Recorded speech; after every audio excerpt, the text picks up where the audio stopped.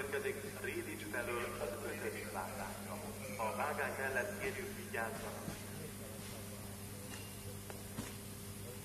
Személyvonat érkezik